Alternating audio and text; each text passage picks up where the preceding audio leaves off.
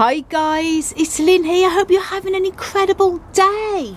Now today guys, I'm going to be potting up, or potting on I should say, my little tiny Chamaecereus um, type of cacti. I've got a mixture of some Chamaelobivias and Chamaecereus um, hybrids, main, mainly Chamaecereus, different types. And as you can see, these were gifted to me mainly as cuttings from various friends that I have here in the cactus world.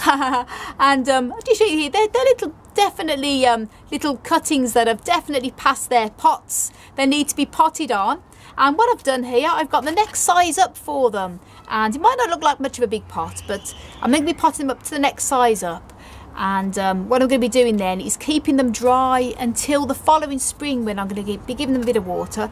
They're going to have the um, late summer, early fall now to settle into their new pots. To show lots of different types and as you can see the pot's gone, roots are starting to come through the bottom there. And I'm going to share with you the repotting video. Um, and uh, what I've done, I've made up my own uh, cactus compost mix, which I like to do. And um, I've made a video on how to make your own cactus and succulent soil. So if you haven't seen it or you're not sure how to make your own, um, links up above to that video because it saves money and you're in control of what goes into it. But this is just personally my preferred method. I like to use um, John Innes number two for potting on plants, which is a loam based soil that just has a small amount of peat. I'm not a big fan of peat because it's hard to get good quality peat and most peat seems to be bad quality and um, taken from areas that is you know environmentally not friendly but John Innes is more of a loam based. And what I've done here is added extra horticultural sand. And I've used perlite. Um, and I've used a quarter of each. And what you can do you can either use you could if you don't want to use perlite you can use grit. Um, in this case I prefer to use I like I do prefer to use grit but I'm using perlite because grit is not always easy to walk home with from the garden centres. Perlite does the same the same job. And I've added extra horticultural sand. So um, making it very well draining and the, the, perlite gives extra aeration. So that's my soil mix and now I'm going to show you repotting them all. Now I may not show you the whole entire process because it might be a bit boring but I'll show you the first two or three I pot up and then show you the finished result and just check how the how the camera is running there. Yep, you can see everything, that's good. So then let's get going. Now first of all we will do this little one here. And this has had as you can see wondering why it's a very browny yellowy colour. Um, it had a bad case of spider mite a few months ago and I treated it with neem oil by um, spraying neem oil on and horticultural soap mixed together and I also used it as a soil drench. And it's glad to say it's got rid of the spider mites now and it's making a recovery. But um, that's just something that the poor little plant had to go through and Chamaecereus are very very prone to um, spider mite it's something they're just prone to. Luckily they nearly always recover if you get it in time. And look at that they're great root system. Now when it comes to repotting cacti and succulents or plants in general always good good idea to check the root system over to check there's no signs of hidden pests and bugs. Um, and if the, the roots are very very compacted it might be a good idea to gently tease the roots loose before putting them into the new soil and I'm going to be checking all these individually. This case, although it's root bound, it's not overly root bound, so this should be okay just to go straight into there with the fresh soil and um, it will then sort of have time to climatise into its new pot.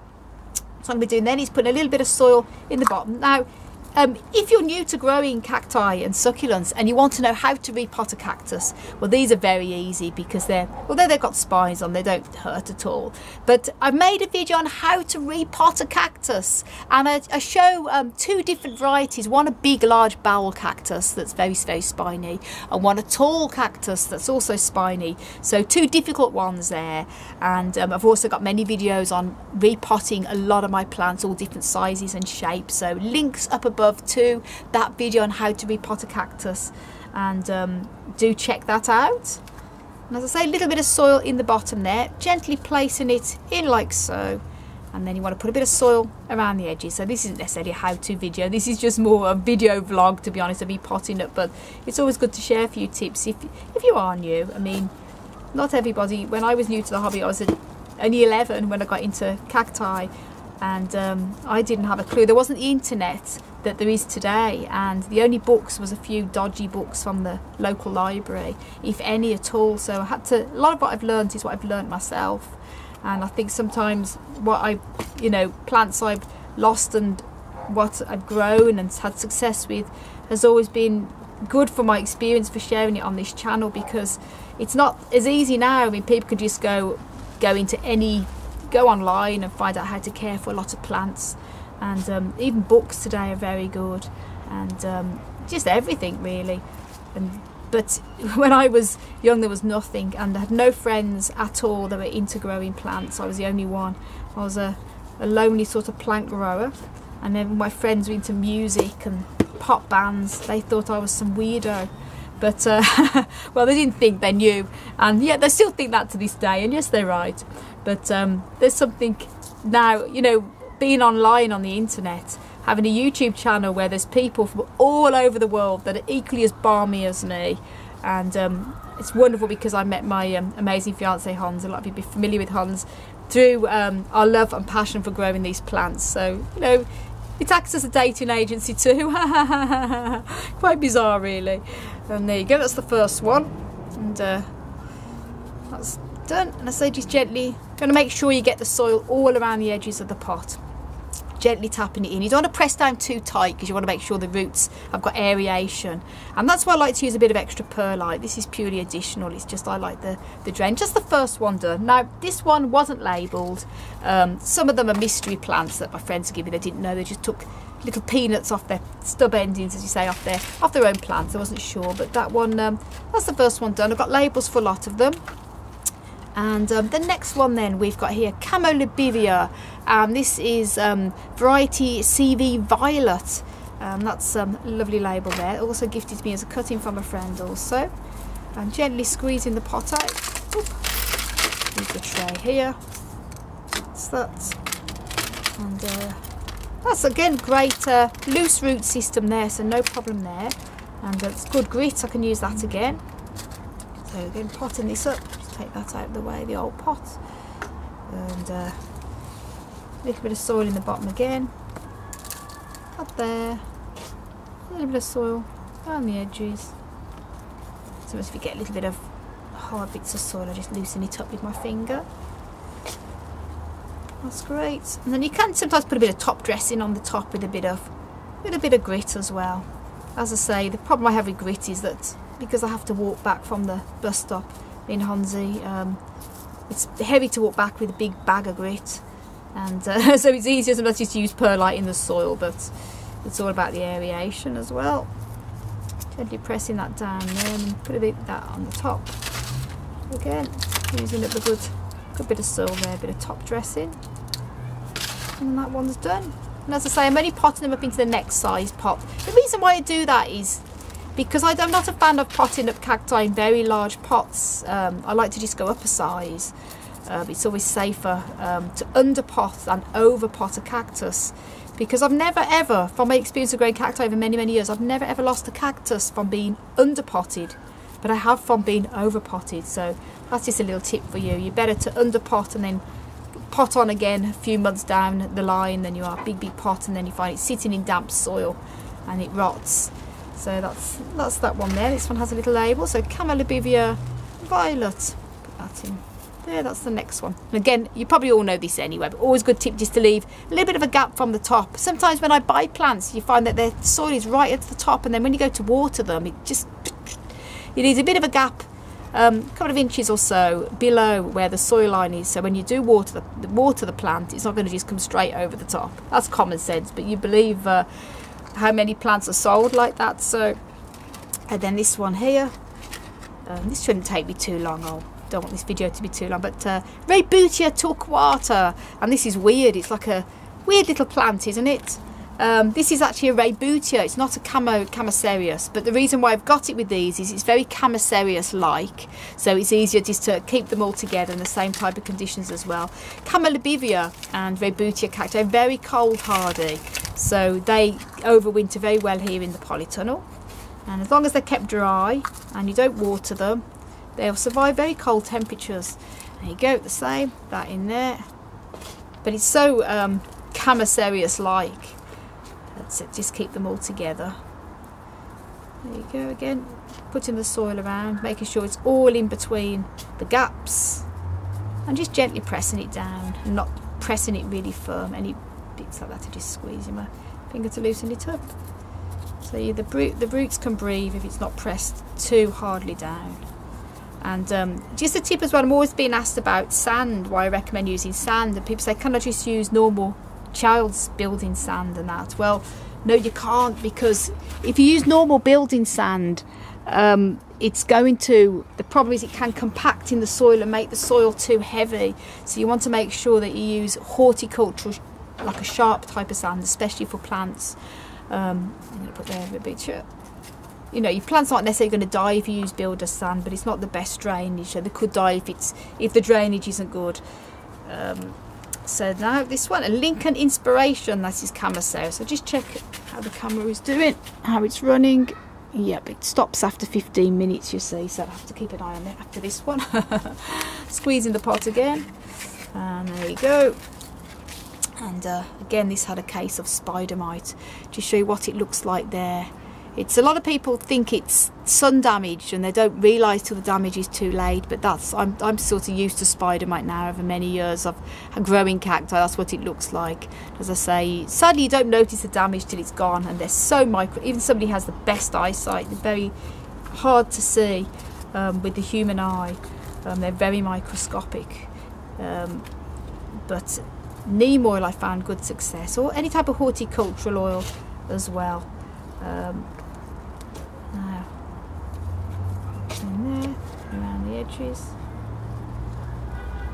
So what I do is I use a little spoon as well if I can find that. Yeah, here it is. If it's a bit tight to put in around the edges, use one of these tiny little teaspoons and just go in there, down there, and then use the end of that just to tap around it there. That's a good. Uh, sorry if this video is going long. If you want to just pull it forward, you can. I personally love watching repotting videos on YouTube, and the longer the better. But I understand time is paramount with everybody, including myself, and I really enjoy watching everyone's videos. But there's only so many hours in the day, and when you you're working and you also got your YouTube channel and you've got a life as well, it's just trying to fit everything in. But um, it's all doing the best you can do I guess. And that's the next one done. There you go. And again gently pressing down. Oh there's something I really love repotting. It's just so therapeutic and the smell of the earth and everything. Oh god I love it. It really is so therapeutic go that's that little fella done Lincoln Inspiration. That one's done. Now this one. Again, one that's not labelled. And they do look uh, practically identical when they're not in flower, so it's very hard to really ID them until they do flower. But they're great. Chamaecereus, by the way, great little cacti to grow if you haven't got a lot of space. Um, because they are compact, they're clumping plants, so they're great if you've got apartments or small winter sills. Um, and they're also great if you also have greenhouses and rooms. You can't really heat as such because again they, they don't need they can take minus temperatures if they're kept dry. Great very common the most common type of Chamaecereus is the um, silvestrii which has the beautiful orange flowers and commonly nicknamed the peanut cactus um, because of its peanut like, as you can see, peanut like little stems. And these are all hybrids off that original plant um, that was in cultivation originally. These are many many hybrids. And a lot of them are crossed with Rebutia and you know Lobivia because they're sort of similar in appearance and um, how they sort of flower and their conditions. And don't ask me about how they hybrid hybrid them all you know I really don't know it's clever anyway. All cross pollination and all that. And clever. There you go, that's the next one.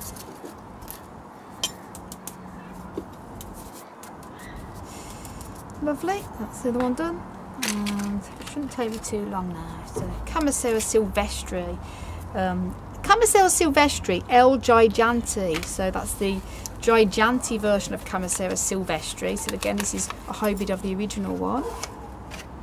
Again, had the spider mite damage, as you can see. It's making a slow recovery. Some of the old dead roots back. And what I do actually, although it, this time of year now, because it's coming very close to the, the fall, I will be keeping all these dry. I won't be giving these a scrap of water now until the spring. But even if this was a height of summer, I still would not be watering these straight away after repotting.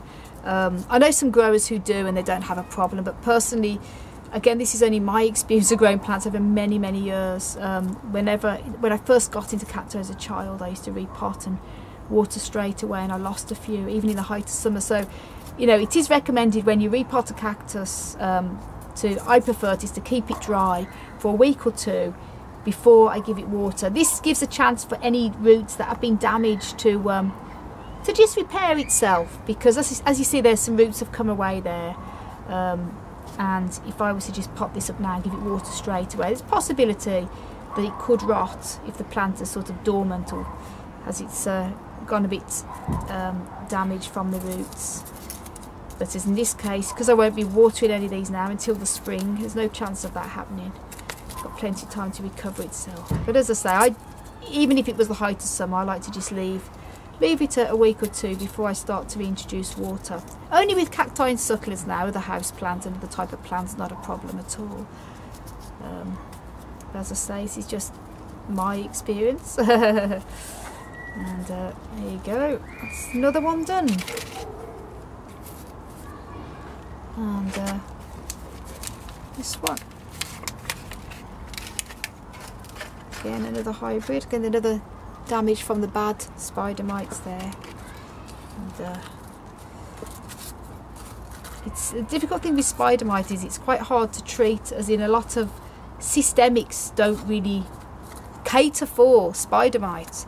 So um, neem oil is what I find I have good success with, but other growers would recommend different things.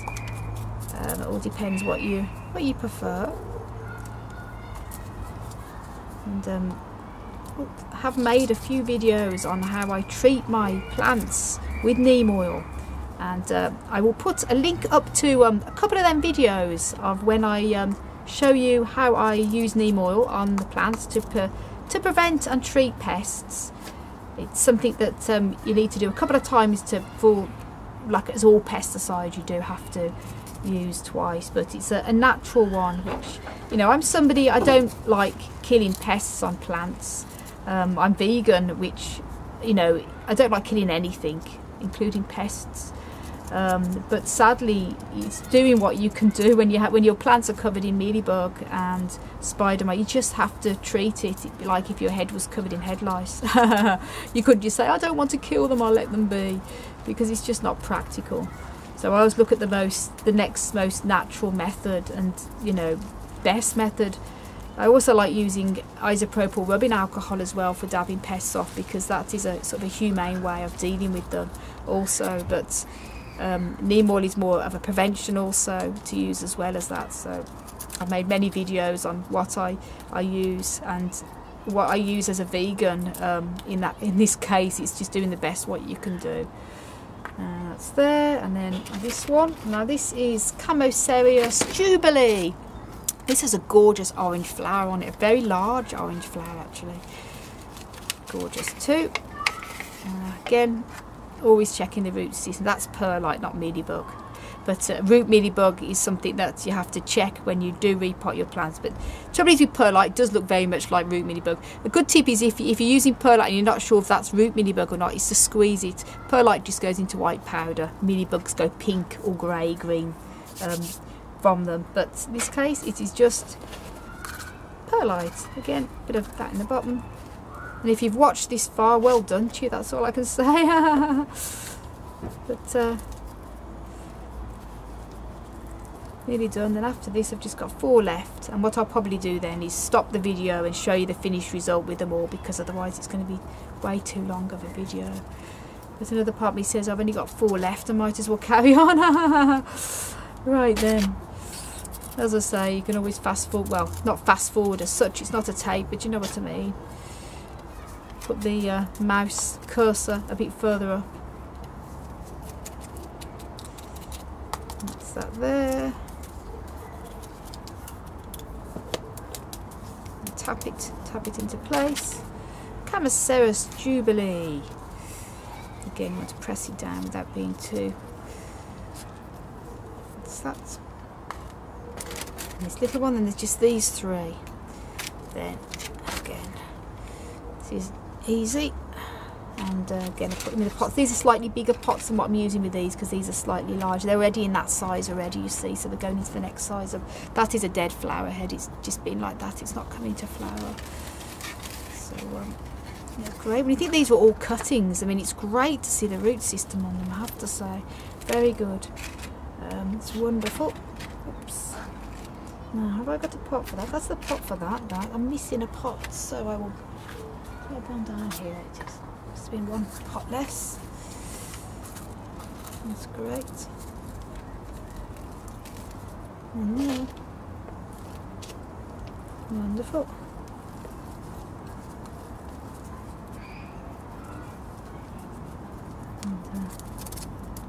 Good little tip, just to shake, tap the pot lightly and that helps the soil to go down the sides if you can't really reach them.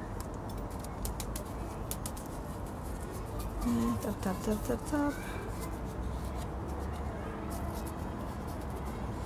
That's great, I'll just check on the, on the camera. Yeah, that's okay.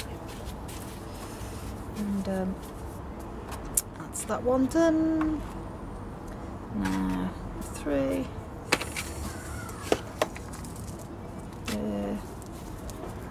The roots do that. I desperately to desperate to be repotted. Squeezing the pots. I always prefer plastic pots than clay. Clay do look lovely and they're great for drying out quicker. But sadly it's difficult when it comes to repotting, you see, because the roots tend to go all the way around clay pots. And that there, a bit more more of a wider. Mm, that might need a bit more of a wider, and it should be okay for that. Again, it around.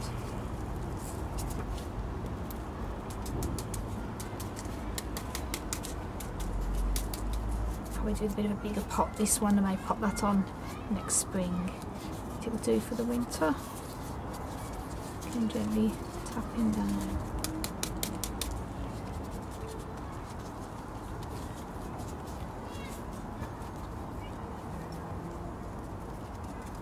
that?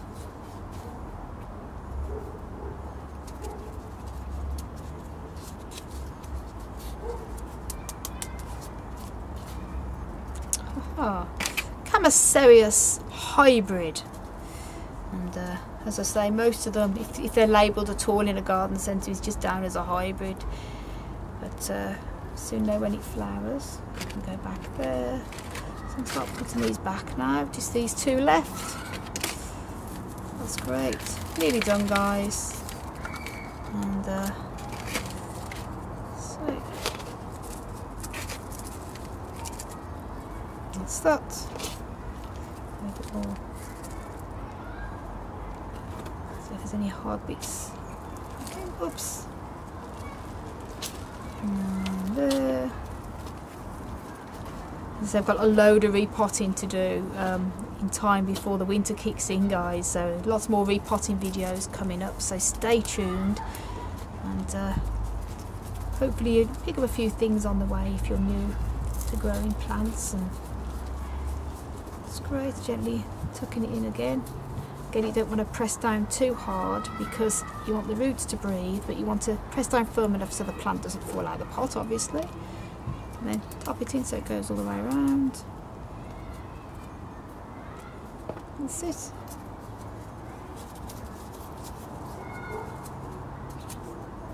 That's that one. Whoops. Now look at that. That's I'm going to show you something in a minute, guys. And I'll put the label on that. Chamaecereus hybrid. So that one's done there. Um, these peanut cacti, you only have to look at them and the um, the stems come off really easy. They're so easy to propagate. And um, normally with a cactus cutting or, or any type of when you pull a baby off from the plant, the cactus, leave it for a couple of days to callus over before putting in the soil but this case it's practically dry so I'm going to put this in at the same time. Could pot it up into its own little individual pot but in this case I'm going to put it back into the same pot. Um, it's just how easy it is to these the big Chamaecereus silvestrii plants the big multi-headed ones you don't have to look at them and their peanuts fall off them but they're easy so easy to propagate. They're great to give to friends as well. So um, that's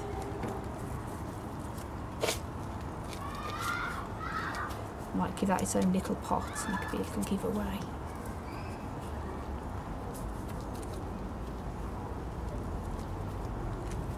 Mm, yes, that.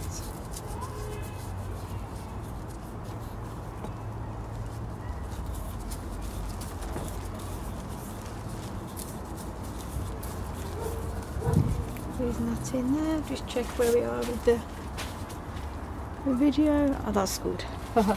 from the very long video. This has also came off as well. It has actually got a little root on it already. So again, all you need to do with these is, um, usually I probably would recommend actually waiting an hour or two before putting in here, but I know that's fully dry, so I don't have to worry. The soil is also dry. So I'm going to pop that in there. And uh, there, again, that will root. once they've rooted, then I'm going to be give them away as little cuttings to friends. There you go. That's it, guys. That is all of them completed.